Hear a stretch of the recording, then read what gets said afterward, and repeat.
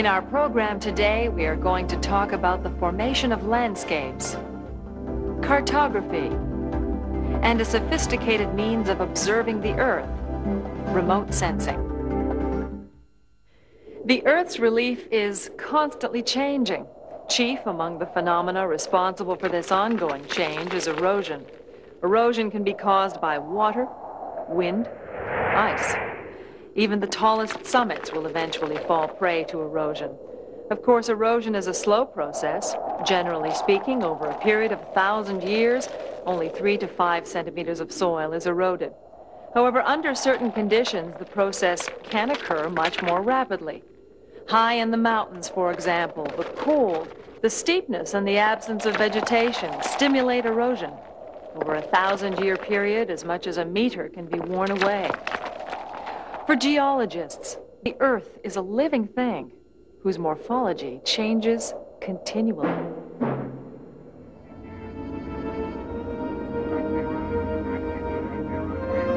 In the eyes of those who have ventured beyond the limits of the Earth, our planet looks like a perfectly smooth sphere. And yet, when they return to Earth, space explorers quickly realize that the surface of the planet is creased and hollowed with cracks.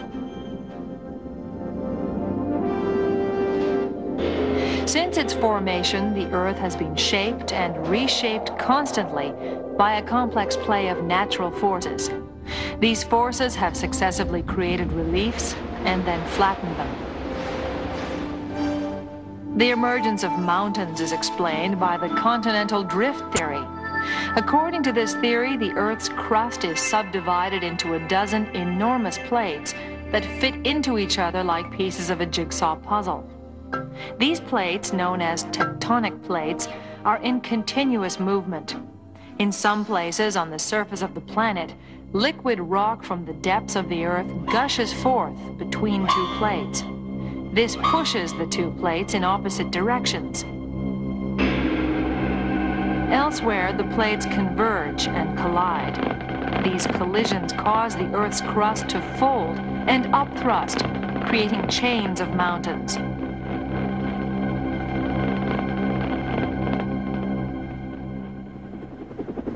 However, as soon as the newly formed reliefs reach open air, they are subjected to an inexorable process of destruction.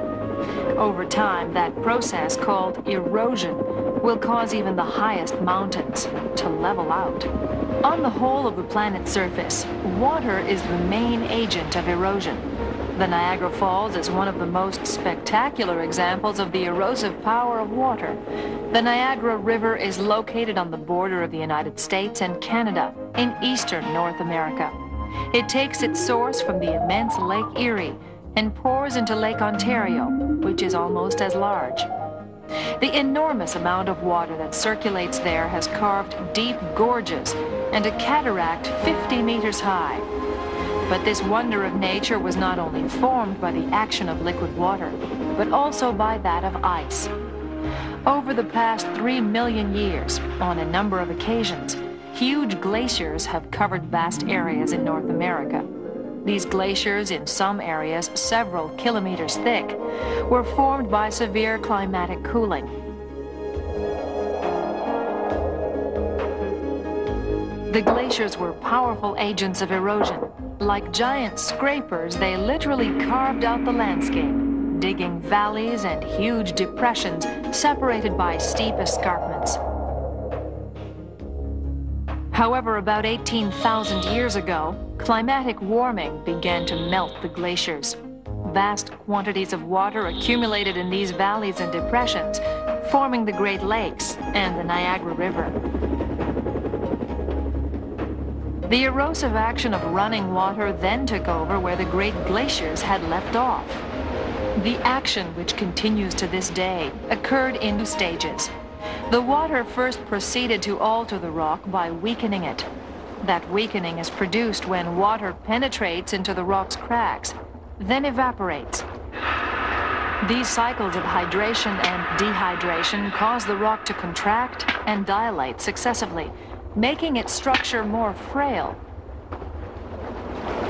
This physical deterioration of the rock is accompanied by chemical decomposition. River water contains a natural acid derived from the dissolution of carbon dioxide in the atmosphere. That acid dissolves certain minerals in rock, weakening the rock even more.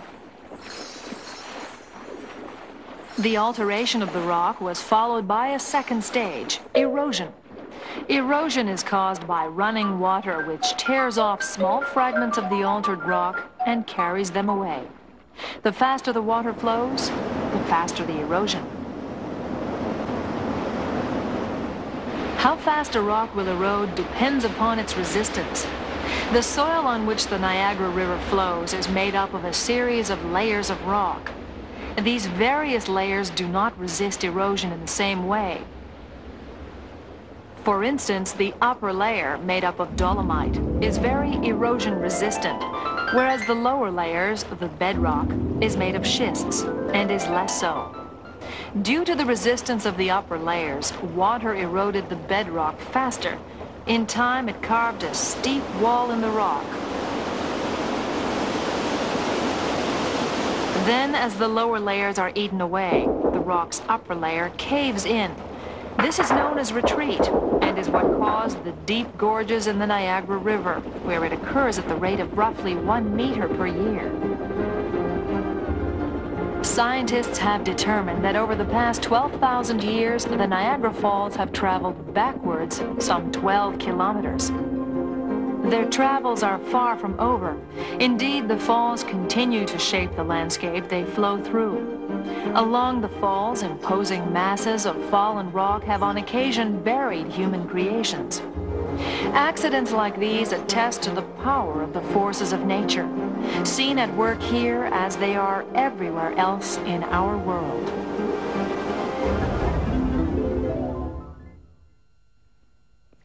Geographical maps came about due to man's need to locate himself in space. Even with their limited means, the ancients tackled the difficult task of representing the world. Their maps were, we could say, decorative. They portrayed the winds, mythical beasts, imaginary places. But the pilgrimages and voyages of the explorers created a need for realistic maps. Geographical maps are still made today, but the sophistication of our technology is equal only to our need for precision.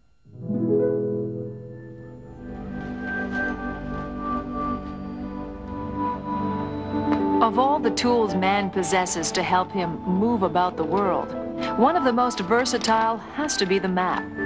In countless areas of human activity, from military strategy to tourism, we would be lost without our maps.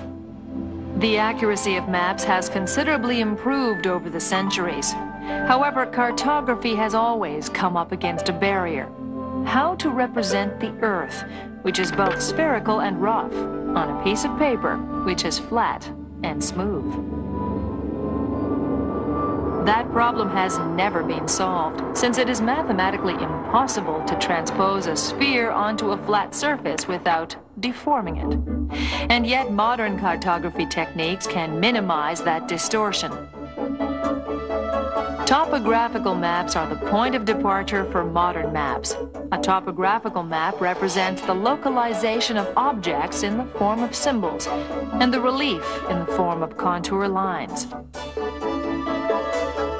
To draw up a topographical map, crews of geometer surveyors first go out into the area. Their work consists of determining the coordinates of a given number of ground reference points. These reference points are marked with a bolt or a bronze plate. Generally, they correspond to elements easily recognizable from the air, such as the crossing of two roads or the summit of a mountain. With different techniques, the surveyors determine the latitude of every site or its position in relation to the equator. Its longitude, which is its localization in relation to the Greenwich Meridian in England, and its altitude, that is, its elevation above median sea level.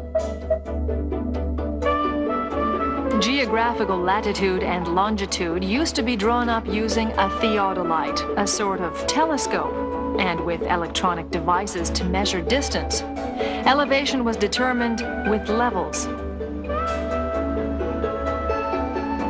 For a few years now, a site's latitude, longitude, and elevation can be established by a receiver that picks up the radio signals of a fleet of satellites orbiting the Earth. Measures obtained this way are highly accurate.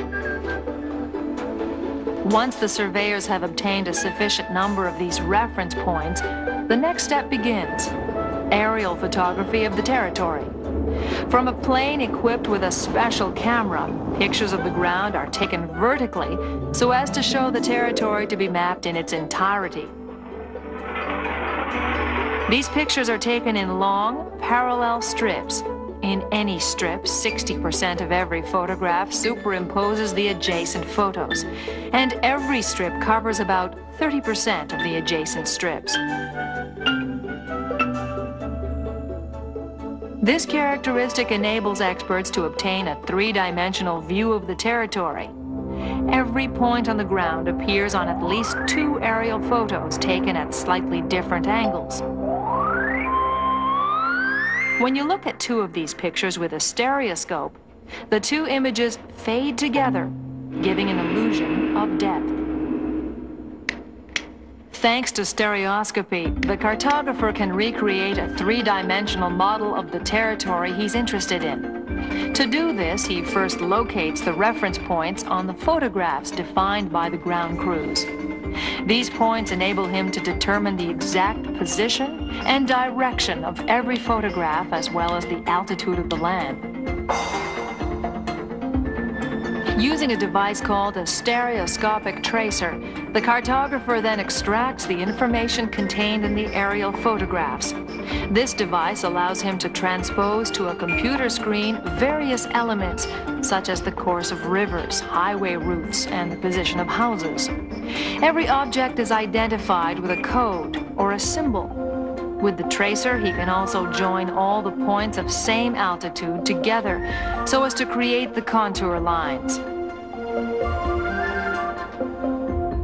Some objects, such as roads and houses, may be too small or too close together to be clearly visible, and they must be slightly displaced.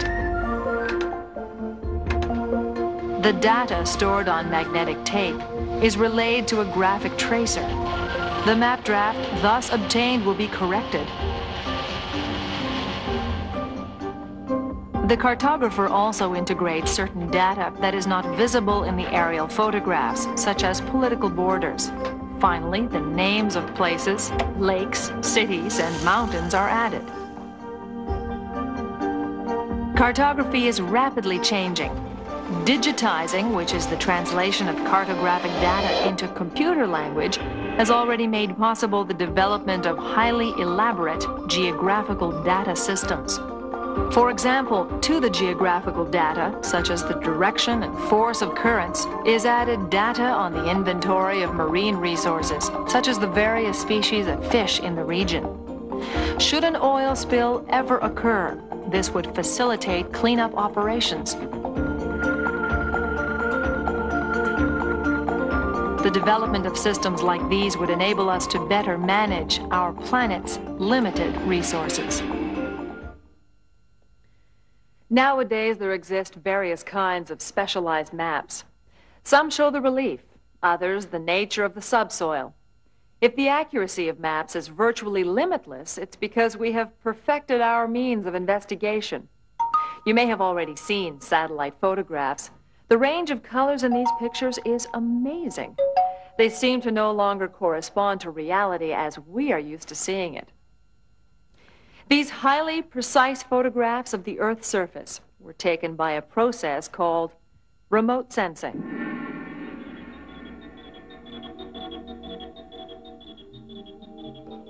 For over 20 years, satellites have been given the mission of observing our planet.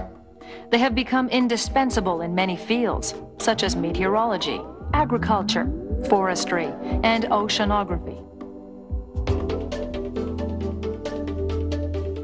But only in the last few years have scientists developed a powerful long-distance method of studying and interpreting the Earth's surface, remote sensing.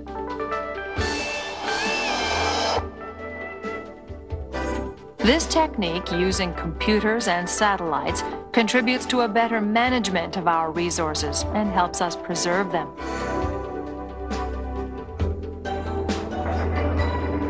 Like human vision, remote sensing makes it possible to analyze from a distance light reflected from objects. When we look at a landscape from way up in the air, our eye picks up the light reflected by the surface of the ground. We are able to identify the various elements in the landscape due to two characteristics of that light. One is intensity, or the amount of light coming from an object, and the other is the wavelength of the light reflected by the object. That wavelength, which goes from violet to red through all shades possible, defines the color of the object. The intensity and wavelength of the reflected light provides us with a great deal of information on the nature of the elements that form a landscape. However, our eyes have their limitations. The eye perceives only a very narrow strip of all the waves that make up light. All these waves form a very large spectrum. Besides visible light, that spectrum includes gamma rays, X-rays, ultraviolet and infrared rays, microwaves, and radio waves. These waves, reflected by the surface of the Earth, constitute a veritable palette of invisible colors.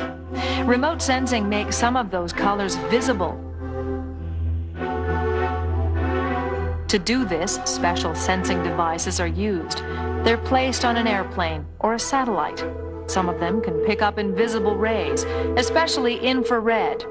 Others, visible wavelengths, namely blue, red, and green. These sensors also measure the intensity of the reflected light. Quite different from photographs, the pictures obtained are made up of millions of dots called pixels, short for picture elements. Every pixel can record 256 different levels of intensity of light. This data is relayed to receiving stations where it is processed. Such data processing consists of choosing and analyzing the wavelengths reflected by the object. The results of the analysis are then displayed on a video screen using a color code created to make certain elements of the ground stand out. For example, this method can be used to distinguish different zones in a forest, such cutting areas, or areas subjected to insect attacks. Remote sensing brings these various areas out. For instance, in this picture, the dark green surfaces correspond to coniferous forests, the light green surfaces to broad-leaved tree areas, the pink parcels to recent cuts, the pale green zones to regenerated areas, and finally the red surfaces to those having suffered insect attacks or fires. Thanks to these pictures, foresters are able to measure the exact surface of the areas cut and evaluate the regeneration rate of the forest. This helps to improve forest management. Another promising remote sensing application is the study of oceans. Oceans cover two-thirds of the planet's surface and are vitally important to climatic equilibrium and to the food of humankind.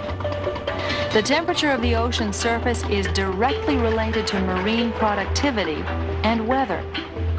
Thanks to remote sensing, scientists can evaluate the temperature of the surface of the ocean to within one half degree. They do this by measuring the intensity of the thermal infrared rays on the ocean surface. The intensity of these rays is proportional to the temperature of the water. This data enables them to assess the concentrations of phytoplankton, the microscopic algae which are at the base of the ocean's food chain. Their localization on satellite pictures is very useful for studying marine pollution, as well as finding favorable fishing areas. Applications for remote sensing are increasing by the day. For example, satellite pictures are now so detailed they can be used to draw up topographical maps. This would make the creation of certain types of maps possible, where information concerning the vegetation or use of the soil could be added to conventional geographical data. Remote sensing heralds a veritable revolution in our comprehension and management of the planet. The first nautical charts date back to the 13th century. Even then, they took pains to represent the reefs, shoals, and shorelines as accurately as possible. But some of these maps are very difficult to interpret. The navigators sometimes invented secret signs so as not to give away their geographical knowledge to rival powers or competitors.